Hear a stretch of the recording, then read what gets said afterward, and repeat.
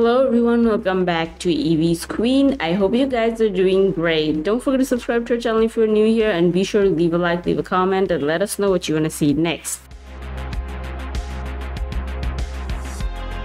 BYD's premium new energy vehicle brand Denza has unveiled the interior design of the Denza N8 as it ramps up its preview of the new SUV, well, images posted by Denza on Weibo show the N8 with a large glass roof, a large center screen, and rear tabletops. In China's increasingly competitive electric vehicle market, automakers are racing to offer features that will provide consumers with more convenience in their driving experience. Denza was formed in February 2011 as a joint venture between BYD and Daimler, each holding a 50% stake, and Daimler was rebranded as Mercedes-Benz in February 2022. BYD's stake in Denza increased to 90% last year, and Mercedes-Benz stake decreased to 10%.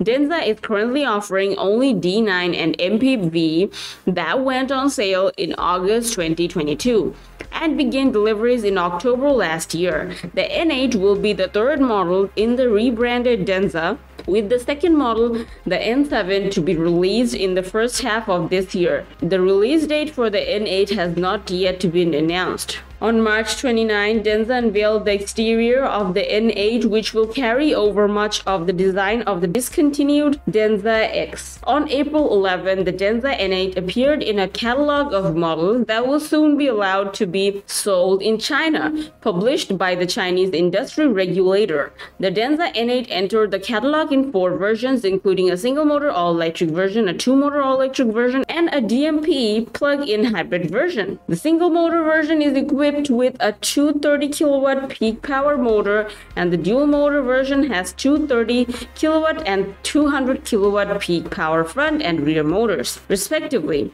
The model's length, width and height are 4949 millimeters, 1950 millimeters and a 1725 millimeters respectively with a wheelbase of 2830 millimeters according to the filing. Denza delivered 10,526 vehicles in April, up 1.23% from 10,398 in March.